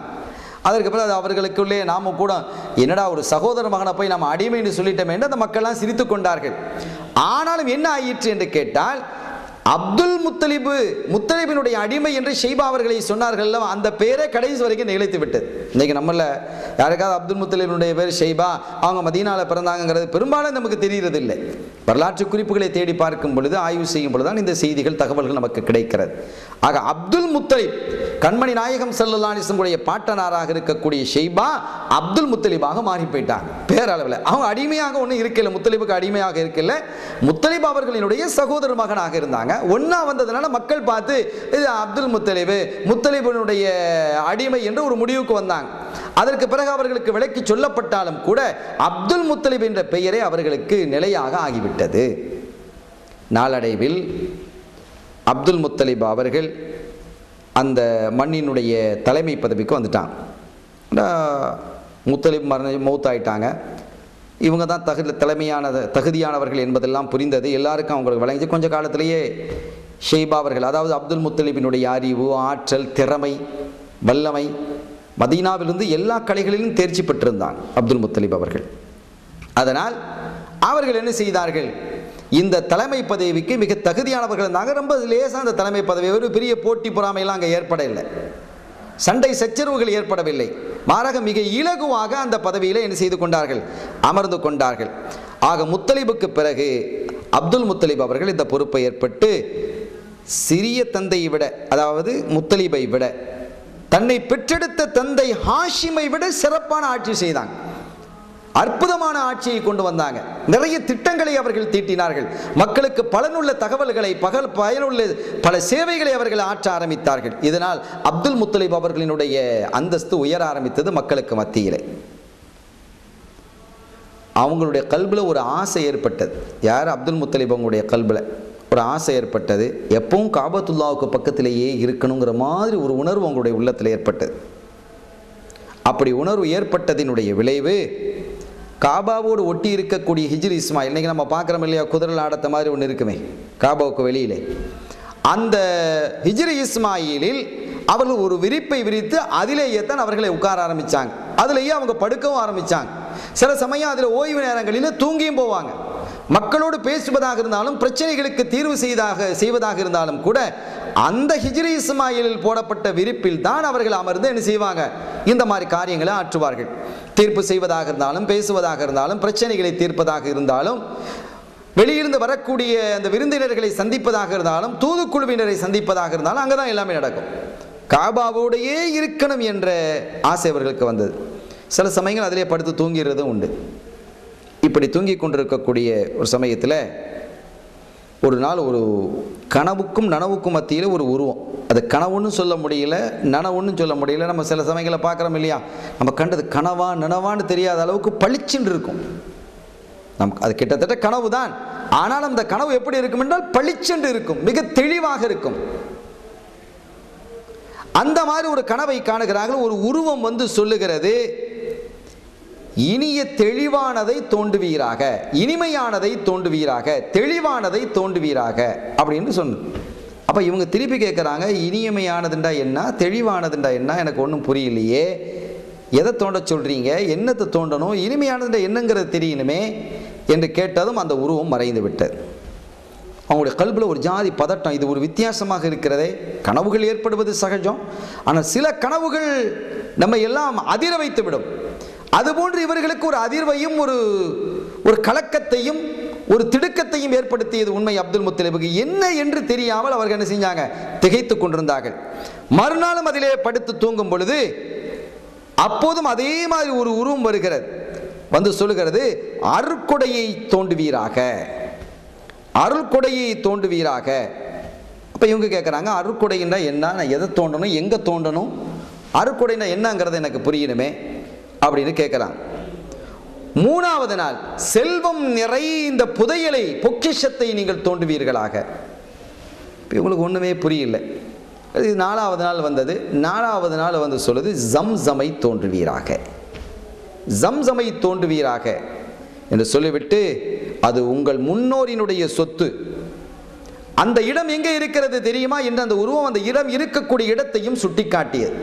அது சம்பந்தமான சில குறிப்புகள் நீண்ட வரலாறுகளும் இருக்கிறது. நான் அதை விவரிக்கவில்லை. அதனுடைய சுருக்கம் என்னன்னா இந்த மாதிரி கனவில் வந்து நாலு நாளாக வந்து அதை தோண்டுங்க தோண்டுங்கன்னு சொல்லி நாலாவது நாள் ஜம்சம் என்று சொல்லி அந்த இடத்தையும் சுட்டிக்காட்டி இதுதான் அந்த இடம் என்று அந்த இடத்தையும் சுட்டிக்காட்டப்பட்டது அப்போது அந்த சமயத்தில் அப்துல் முத்தலிபுக்கு ஒரே ஒரு மகன் தான் இருந்தார் ஹாரிதுன்னு சொல்லக்கூடிய ஒரு மகன் தான் இருக்கிறார்.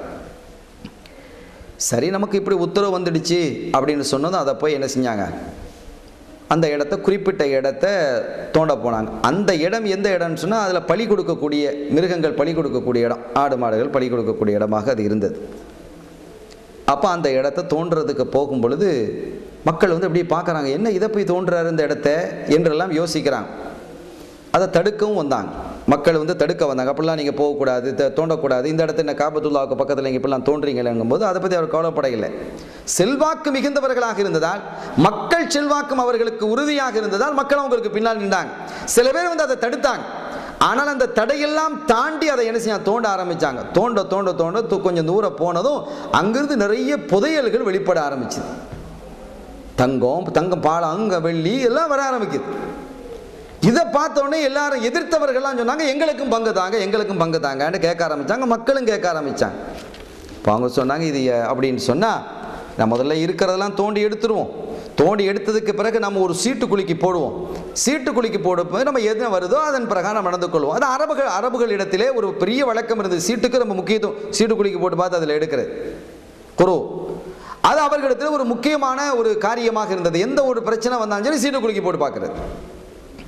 அந்த மாதிரி சீட்டு போட்டு பார்த்து நம்ம ஒரு முடிவுக்கு வந்துடுவோம் என்று அவங்க சொல்ல மக்களை ஏற்றுக்கிட்டாங்க அதாங்க ஒரு பெரிய பொக்கிஷமாக வந்து சேர்ந்தது. புதையல்கள்லாம் நிறைய வந்து சேர்ந்து தங்க பாடங்கள்லாம் வந்து சேர்ந்தது. அதற்கு பிறகு அங்கே யாரெல்லாம் வேண்டினார்களோ ஒவ்வொரு கோத்திரத்தினுடைய தலைவர் பேர் அதே மாதிரி அப்துல் முத்தலீப் அவங்களுடைய பேர் காபத்துல்லாவினுடைய பேர். இது காபத்துல்லாவுக்கு சொன்னால் காபத்துல்லாவுக்கு சேரணும் இல்லையா? அந்த காபத்துல்லாவினுடைய பெயரையும் எழுதி அந்த சீட்டில் போடப்பட்டது சீட்டை போட்டு அந்த அவங்க எப்படி முறைப்படி அந்த சீட்டு இழுப்பார்களோ அதே போன்று சீட்டை எடுத்து அவர்கள் பிரித்து பார்த்தால் காபத்துல்லாவுக்கு ஒரு பெரும் பங்கு. அதில் போய் சேர்ந்துடுச்சு. இன்னொரு பெரும்பங்கு யாருக்கு வருது? என்று சொன்னால் அப்துல் முத்தலிபுக்கு. முடிஞ்சு போச்சு. வேற யாருடைய பெயரும் அதில் வரல. சீட்டு குலுக்கி போட்டு பார்த்து எடுத்தால் அதற்கு எல்லா மக்களும் கட்டுப்படுவாங்க எல்லா தலைவர்களும் கட்டுப்படுவாங்க. அப்படிதான் கட்டுப்பட்டு இருந்தாங்க ஆக இருந்த புதையல் வெளிப்பட்ட புதையல் எல்லாம் பாதி பாதிக்கு மேலாக காபத்துல்லாவிற்கு வழங்கப்பட்டது. மீதி இருந்தவைகள் எல்லாம் அப்துல் முத்தலிப் அவர்களுக்கு என்ன செய்யப்பட்டது? வந்து சேர்ந்தது. ஒரு பெரிய செல்வம் வந்து சேர்ந்தது. அதான் கனவுல பெரிய புதையலை தோண்டுவீராக இனிய தெளிவை தோண்டுவீராக செல்வத்தை தோண்டுவீராக என்றெல்லாம் சொல்லப்பட்டதனுடைய கருத்து என்னங்கிறது கடைசியில் ஜம்சம் நீர் ஊற்றும் வந்தது. அதற்கு பிறகு அந்த வரலாறு பிந்தி முந்தைய காலத்தினுடைய மறைந்து போன வரலாறுலாம் ஹயாத்தானது. இப்படியெல்லாம் இதில் இருந்திருக்குது ஜம்சம் இருந்திருக்குது. அங்கே வந்து ஜுர்ஹும் கிளையினர் ஆட்சி செய்தது அதுக்கு பிறகு ஹுசாக்கும் அவங்களுக்கும் இடையிலே பிரச்சனை ஏற்பட்டு இந்த தகவல் எல்லாம் சொல்லப்பட்டு அதுக்கு பிறகு ஜுருகும் கிளையினர் இதை விட்டு போகும்பொழுது தான் இந்த பொக்கிஷங்களை எல்லாம் புதையல்களெல்லாம் போட்டு மறைத்து விட்டு அவர்கள் என்ன செய்து விட்டார்கள்? ஜம்சமையே மறைத்து விட்டு போய் விட்டார்கள் என்ற தகவல் எல்லாம் அதற்கு பின்னால் தெரிய வருகிறது.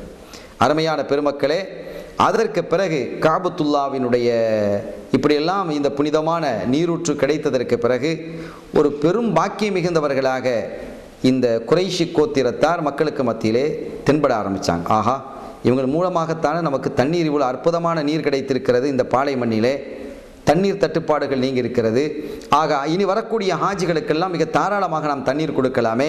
இந்த தண்ணீருக்காக இந்த ஹஜ்ஜுக்காக வரக்கூடிய இந்த யாத்ரீகர்களுக்கு நாம் எவ்வளோ பெரிய கஷ்டம் அடைஞ்சிருக்கிறோம் எவ்வளோ பெரிய துன்பத்தை அடைந்திருக்கிறோம் அந்த துன்பத்தை எல்லாம் நீக்கி மிக அழப்புதமான அழகான இனிமையான ஒரு தெளிவான நீரூற்று நமக்கு குறைஷிகள் மூலமாக வல்லவா கிடைத்திருக்கிறது என்று குறைஷிகளுக்கு ஏற்கனவே இருந்த சிறப்பான அந்தஸ்து மேலும் உயர்ந்தது. ஆனால் இந்த அப்துல் முத்தலிப் என்ன செஞ்சாங்கன்னு கேட்டால் அவங்க அதை தோண்டும் போது சில தடைகள் வந்தது அல்லவா? சில தலைவர்கள் வந்து தடுத்தாங்க அல்லவா? ஆனாலும் தோண்டி முடித்தாங்க தன்னுடைய ஒரே மகனை வச்சு. அப்போ அல்லாவிடத்தில் ஒரு முறையிட்டாங்க யா எனக்கு பத்து ஆம்பளை பிள்ளையை நீ தரணும். பத்து ஆம்பளை பிள்ளையை தரணும். அப்படி பத்து ஆம்பளை பிள்ளையை நீ தந்தா அதுல நீ விரும்பக்கூடிய ஒரு பிள்ளையை உனக்காக அறுத்து பலியிடுவேன். என்று என்ன செஞ்சிட்டாங்க? ஒரு நதிர் ஒரு நேர்ச்சை ஒன்று செஞ்சிட்டாங்க அப்துல் முத்தலிப். அல்லாவே உனக்காக ஒரு மகனை நான் என்ன செய்வேன்? அறுத்து பலியிடுவேன் அப்படின்னு ஒரு நேர்ச்சி செஞ்சுட்டாங்க. நாளடைவில் அடுத்து அடுத்து அடுத்து அவங்களுக்கு ஓரிரு மனைவிகள் இருந்திருக்கிறாங்க. அல்லது நாலு மனைவிகள் இருந்திருக்கலாம். பத்து பிள்ளைகளும் பிறந்தாங்க. பத்து பிள்ளைகளும் பிறந்து ஓரளவு வளர்ச்சி அடைந்தார்கள். அதற்கு பிறகு அவருக்கு ஞாபகம் வருது ஆகா இப்படி ஒரு நம்ம ஒரு சத்தியத்தை செய்தோமே ஒரு நேர்ச்சியை நாம் செய்திருக்கிறோமே என்ன செய்வது? என்ற ஒரு முடிவுக்கு வந்து இப்படி என்ன செய்ய நாங்கள் யோசிக்கிறேன் கடைசியில் அந்த யோசனையெல்லாம் செஞ்சால் சரி வராது. என்று சொல்லி அங்கே இருக்கக்கூடிய ஒரு பெரியவரிடத்தில் போய் கேட்குறாங்க இப்படி நான் ஒரு நேர்ச்சி செஞ்சேன். இந்த நேர்ச்சியை நான் எப்படி நடத்தி கொள்வது அப்போ அந்த பெரியவர் சொன்னார் நீ சொன்ன நேர்ச்சியை நிறைவேற்றணும். அவ்வளோதான் அல்லாவிடத்தில் நீ நேர்ச்சி செஞ்சா நேர்ச்சி செய்தவர் மாத்திரம் அந்த ஒரு ப பத்து பிள்ளை எனக்கு தரணும் என்று கேட்டால் அல்லா பத்து பிள்ளை உனக்கு தந்துட்டான். அதனால் ஒரு பிள்ளை நீ அடுத்த பிள்ளையிட தான் செய்யணும். அந்த பிள்ளை எந்த பிள்ளை என்பதை சீட்டு குளிக்கு பார்த்து எடுத்துட வேண்டியதான் சரி என்று சீட்டு குளிக்கு போடப்பட்டு எடுக்கப்பட்டது அப்துல்லா என்று பெயர் வருது. இருக்கிற பிள்ளைகளிலேயே ரொம்ப இளைய பிள்ளை அதுதான். அப்துல் முத்தலிபுக்கு பிள்ளைகளிலேயே மிக விருப்பமான பிள்ளையும் அதுதான். பிள்ளைகளிலே அறிவும் அழகும் மிகுந்த பிள்ளையும் அப்துல்லா தான். அப்துல்லாவினுடைய பேர் வந்தது உங்களுக்கு கொஞ்சம் சங்கடமாக இருந்தது. ஆஹா இந்த பிள்ளையை நம்ம எதிர்பார்க்கையிலே இது சின்ன பிள்ளையிலோ இந்த பிள்ளையை போய் நம்ம இருக்கிறதா பழியிடுறதா ஏன்னா அவங்களுக்கு மனசு கேட்கையில். அப்போ அந்த பெரியவர்கிட்ட சொன்னதும் அப்போ திருப்பி ஒரு தடவை போடுவோம். என்ன சீட்டு திருப்பி போடப்படுது? ரெண்டாவது அவங்க பேர் தான் வந்தது. மூணாவது போடுவோம்னு பார்த்தாங்க. மூணாவது அவங்களோட பேர் தான் வருது. இதுக்கு மேலே ஒன்றும் செய்ய முடியாது என்றதும் அவங்களும் அப்துல் முத்தலிபும் ஒரு உறுதிக்கு வந்து தன்னுடைய பிள்ளையை அழைச்சிக்கிட்டு வர்றாங்க. அந்த பலியிடக்கூடிய பகுதி ஜம்சபுக்கு பகுதியில் வந்து பக்கத்தில் வந்து பிள்ளையை அறுத்து பலியிடுவது என்ற ஒரு முடிவோடு அங்கே வரும் பொழுது இந்த செய்தி வெளியில் அப்போ தான் போகுது. பிள்ளையை அறுக்கிறதுக்காக கொண்டு போகிறாங்களா இப்படி ஒரு நேர்ச்சி செய்திருக்கிறாங்களாண்டு இந்த அப்துல்லா நாயகம் ரதி அல்லாஹு தாலான் கண்மணி சல்லா அலிஸ்லமுடைய அருமை பா தந்தையார் அவங்கள அறுக்கிறதுக்கு தான் கொண்டு வர்றா அப்துல் முத்தலிப் அவங்க. அப்துல்லா நாயகம் ரதியல்லாஹு தாலானு அவர்களோடு கூட பிறந்த சகோதரர்கள் ரெண்டு பேர் அபு தாலிப் ஜுபைர். அப்துல்லா அவங்களோட ரதியல்லாஹு தனங்களோட கூட பிறந்தவங்க அபு தாலிபும் கூட பிறந்திருந்தாங்க ஜுபைருங்கிறவங்க கூட பிறந்தாங்க. மற்ற ஏழு பிள்ளைகளும் மற்ற தாய்மார்களுக்கு மற்ற மனைவிமார்களுக்கு பிறந்தவங்க. அப்துல் முத்தலிபு பல மனைவிகளை முடிச்சிருந்தாங்க. ஆனால் அந்த மனைவிமார்களில் ஒரு மனைவி ஃபாத்திமான்னு ஒரு மனைவி. அந்த ஃபாத்திமா என்ற அந்த மனைவிக்கு பிறந்தவர்கள் தான் அபு தாலிபு ஜுபைர் அப்துல்லா. இந்த மூணு பிள்ளைகளும் அவங்களுக்கு பிறந்தவங்க. இந்த ஃபாத்திமா என்று சொல்லக்கூடிய இந்த பெண்மணி இருக்கிறாங்க குறைஷி குலத்தை சார்ந்தவர்கள் மாத்திரமல்ல நல்ல வலிமையான செழிப்பான குடும்பத்தை சார்ந்தவங்க. குடும்பம் நல்ல வலிமை மிக்க குடும்பம். அதாவது அங்கே இருக்கக்கூடிய அந்த குடும்பத்தை சார்ந்த இளைஞர்கள் அங்கே இருக்கக்கூடிய பெரியவர்கள் இல்லை அறிவும் ஆற்றல் திறமை மிக்கவர்கள் வசதி மிக்கவர்கள் இப்படி இருந்ததின் காரணத்தினால் இந்த தகவல் ஃபாத்திமாவுக்கு போகுது. தம் பிள்ளைய அப்துல்லாவை அறுக்க போகிறாங்க என்ற தகவல் போனதும் வேதனை அடைந்து சங்கடப்பட்டு தன்னுடைய குடும்பத்தை சார்ந்தவர்களை எல்லாம் அனுப்பி வச்சாங்க. நீங்கள் விடாதீங்க. பிள்ளையா இருக்கிறதுக்கு என்ன அவங்கெல்லாம் வந்துட்டாங்க படையெடுத்து வந்துட்டாங்க. நாங்கள் பிள்ளையா இருக்க விட மாட்டோம். அது எப்படி எங்கள் பிள்ளையா இருக்கலாம் மற்ற பிள்ளையாருங்க எங்கள் குடும்பத்தை சார்ந்த பிள்ளையை நீங்கள் இறக்குறீங்கன்னு சொல்லி தந்தையிடமே அபு தாலிபிடமே இப்போ அப்துல் முத்தலிபிடமே பிரச்சனைக்கு வந்தாங்க இப்போ இதுக்கு முடிவு என்ன செய்வது என்று அந்த ஒரு அறிஞர் தான் சொன்னார் அப்படியா? ஒன்று செய்வோம். ஒரு ஒம் பத்து ஒட்டகத்தை எடுங்க. பத்து ஒட்டகத்துக்கு பெயர்கள் இருக்கும். அந்த பத்து ஒட்டகத்தினுடைய பெயர்களையும் நீங்கள் என்ன செய்யுங்க? ஒரு சீட்டில் எழுதுங்க. அப்துல்லாவுடைய ஒரு சீட்டு பேரையும் நீங்கள் என்ன செய்யுங்க? சீட்டில் எழுதி குளிக்கு போடுங்க. இப்போ என்ன வருதுங்கிறத நம்ம பார்ப்போம். பத்து அப்போ பதினோரு சீட்டு. அந்த பதினோரு சீட்டில் பத்து சீட்டுகள் ஒட்டகத்தினுடைய பெயர்கள். ஒரே ஒரு சீட்டு மாத்திரம்தான் அப்துல்லா நாயகத்தினுடைய பெயர். குளிக்க எடுக்கப்பட்டது. எடுக்கி பார்த்தா அதில் அப்துல்லான் தான் திருப்பி வருது. அப்போ அவர் சொன்னார் ஒன்று அப்துல்லாவை நீங்கள் பலியிடணும். அப்படி இல்லைன்னு சொன்னால் இன்னும் பத்து ஒட்டகங்களை அதிகமாக்கணும். இருபது ஒட்டகம். இப்போ இருபது ஒட்டகத்தினுடைய பெயர். அப்போ இருபத்தோரு சீட்டு. இருபது ஒட்டகத்தினுடைய பெயர் ஒரே ஒரு சீட்டு தான் அப்துல்லா நாயகத்தினுடையது. இப்போவும் அப்துல்லாவுடைய நாயகத்துடைய பெயர் தான் வந்தது. இப்படியே பத்து பத்தாக அதிகமாக்கி கடைசியில் எங்கே வந்து சேர்ந்தது? நூறு ஒட்டகங்கள். நூறு ஒட்டகங்களினுடைய எண்ணிக்கைக்கு வந்ததற்கு பிறகுதான் சீனா அப்துல்லா ரதி தான் அவருடைய பெயர் வராமல் ஒட்டகத்தினுடைய பெயர் வந்தது. அதுக்கு பிறகு நூறு ஒட்டகத்தை என்ன செஞ்சாங்க? பலி கொடுத்தாங்க. குர்பான் கொடுத்தாங்க. நூறு ஒட்டகத்தையும் குலி குர்பான் கொடுக்கப்பட்டது. இதைத்தான் கண்மணி நாயகம் செல்லலாசன் சொல்லுவாங்க அனபனு தபி ஹைன் இரண்டு முறை அறுக்கப்பட இருந்தவர்களினுடைய மகன் நான் மூத்த தந்தையாக செய்தினா இஸ்மாயில் அலை இஸ்லாம் அவர்களும் இப்ராஹிம் நபி அலி இஸ்லாம் அவர்களும் அறுக்கப்பட இருந்தாங்க அல்லாவால் பாதுகாக்கப்பட்டாங்க. கடைசி தந்தையாக இருக்கக்கூடிய தன்னுடைய தந்தை செய்தினா அப்துல்லா நாயகம் அவர்களும் அறுக்கப்பட இருந்தார்கள் அல்லாஹ் பாதுகாத்தான். அதைத்தான் ரசூல் சல்லல்லாஹு சொல்லுவாங்க அனபனு தபிஹை ஹைன் நான் இரண்டு முறை அறுக்கப்பட இருந்தவர்களினுடைய மகனாக இருக்கிறேன் என்று அவர்கள் குறிப்பிட்டு காட்டினார்கள். அதற்கு பிறகு அப்துல் முத்தலீப் அவர்களை பொறுத்தவரை இந்த காபத்துல்லாவை சுற்றி சிலைகள் இருக்குது. சி- காபத்துல்லாவுக்கு உள்ளேயே ஒரு சிலை இருந்தது ஹுபல்னு சொல்லி. அது பெரிய சிலை. அதான் தலைமை லீடர் சிலை. ஆனால் அப்துல் முத்தலீபை பொறுத்த வரைக்கும் எந்த சிலையும் வணங்கக்கூடியவர்களாக இல்லை. அது அல்லாவே தெளிவாக சொல்லிட்டான் ஒத்த கல்லுபு கபி சாஜிதீன். உங்களை அல்லாவுக்கு வணங்கி பணிந்து சுஜூது செய்யக்கூடியவர்களிலே உங்களை நாம் ஆக்கிறோம் என்று அல்லாஹ் குறிப்பிடுகிறான். ஆனாலும் கூட அதை வணங்கக்கூடியவர்களாக இல்லை என்றாலும் அந்த சிலைகளை அகற்றக்கூடிய சக்தி இல்லாமல் போயிடுச்சு. காரணம் என்ன? அப்படியே மக்கள் பழகிட்டாங்க. அதை விளக்கணும்னு சொன்னால் பெரிய சண்டை சச்சரவுகள் மக்காவிலே ரத்த ஆறு ஓடக்கூடிய சூழல் உருவாகிவிடும் என்ற ஒரு நிலை இருந்ததால் அவர்கள் வேதனைப்பட்டு கொண்டிருந்தார்கள். அல்லாஹ்விடத்தில் முறையிட்டுக்கிட்டு இருந்தாங்க. யா அல்லாஹ் முந்தைய வேதங்களை நாங்கள் படிச்சிருக்கிறோம். பத்து பெரியவர்கள் சொல்கிறதுக்கு நாங்கள் கேட்டிருக்கிறோம். இறுதியாக ஒரு நபி வருவாங்கன்னு சொல்லி அந்த நபியை நீங்கள் சீக்கிரமாக அனுப்பி வைத்து இந்த முசீபத்துகள்லாம் தொலைகிறதுக்கு அந்த தௌஹீது நிலைப்பதற்கு ஏகத்துவம் நிலைப்பதற்கு நீ அருள்பாலிப்பாயாக என்று அடிக்கடி பிரார்த்தனை செய்து வருவார்கள். இது அப்துல் முத்தலிப் மாத்திரமல்ல மக்காவிலேயே அப்படி சில பேர் இருந்தாங்க. குறிப்பிட்ட குறைந்த நபர்கள் இருந்தாங்க. அவர்களை அவர்களுக்கு ஒரு பெயர் வைக்கப்பட்டது ஹுனஃபான்னு அவங்களுக்கு பெயர். ஹுனஃபான்னு அவங்களுக்கு பெயர். ஆனால் அவர்கள் எல்லாம் இந்த சிலைகளை வணங்காததின் காரணத்தினால் இந்த சிலை வணக்கம் கூடாது என்று அவர்கள் சொன்னதின் காரணத்தினால் அவங்களாம் ஒதுக்கி வைக்கப்பட்டிருந்தாங்க. மக்காவில் இருக்கக்கூடிய மக்களால் ஒதுக்கி வைக்கப்பட்டவர்களாக இருந்தாங்க ஆனால் அப்துல் முத்தலீப் அவங்கள ஒதுக்கி வைக்க முடியல. காரணம் அவங்ககிட்ட இருந்த தலைமை பதவி. இப்படி எல்லாம் காலம் போய் கொண்டிருந்தது. ஆனால் குறைஷிகள் இடத்துல ஒரு நம்பிக்கை இருந்தது. அந்த நபி மிக சீக்கிரத்தில் வருவார்கள். அந்த நபி சீக்கிரத்தில் வர இருக்கிறாங்க. என்று அந்த குணப்பாக்களாக மக்களும் குறைஷிகளில் பலரும் கூட அதை நம்பி இருந்தார்கள். அப்படி அவர்கள் வந்தால்தான் இங்க நடக்கக்கூடிய பாவ காரியங்களை எல்லாம் அழிந்து ஒளிந்து பரிசுத்தமான ஒரு நிலை ஏற்படும் என்றும் அவர்கள் கருதி கொண்டிருந்தார்கள்.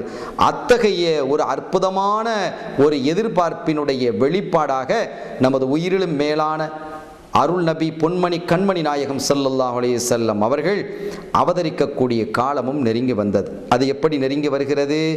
என்றால் இந்த ஒட்டகத்தினுடைய அறுத்ததற்கு பிறகு பலியிட்டதற்கு பிறகு அப்துல்லா நாயகத்திற்கு திருமணம் முடித்து வைக்க வேண்டும் என்ற ஒரு முடிவுக்கு அப்துல் முத்தலிப் அவர்கள் வருகிறார்கள். தங்களுடைய இளைய புதல்வர் அழகு மிகுந்த புதல்வர் அறிவு மிகுந்த புதல்வர் ஒழுக்கச் சீலராக இருக்கக்கூடிய அப்துல்லா ரதியல்லாஹுத்தன் அவர்களுக்கு ஒரு நல்ல பெண்ணை தேட ஆரம்பித்தாங்க அவங்களுக்கு தகுதியான அவர்களுக்கு பொருத்தமான ஒரு பெண் தேட வேண்டும் என்று அவர்கள் தேட ஆரம்பித்தார்கள். அந்த பெண்ணாக அமைந்தது நமக்கெல்லாம் தெரியும். வரக்கா என்று சொல்லக்கூடிய வரக்கத்து நவுஃபல் என்று சொல்லக்கூடிய பேரறிஞர். அவர்களுடைய குடும்பத்தை சார்ந்த ஒரு பெண்ணாக இருக்கக்கூடிய ஆமினா நாயர் ரதியல்லாத்தன் இன்னும் சொல்லப்போனால் குசை இருந்தார்கள் அல்லவா? அவர்களுடைய பேரர் ஜஹ்ராவினுடைய மகன் வகுபு அவர்களினுடைய மகளார் தான் செய்தினாத்னா ஆமினா நாயகி ரதியல்லாஹு தாரான்ஹா அவர்களைத்தான் பெண் பேசி முடிக்கப்பட்டு அவர்களுக்கு திருமணம் முடித்து வைப்பது என்ற ஒரு முடிவுக்கு வந்தார்கள். அதன் வாயிலாகத்தான் வள்ளலம் கண்மணி செல்லல்லா அலைஹி செல்லவர்கள் அவர்கள் இந்த வையகத்திலே தோன்றி சத்திய வெளிச்சத்தை அவர்கள் பரவச் செய்தார்கள் என்பது நாம் குறிப்பிடுகிறோம்.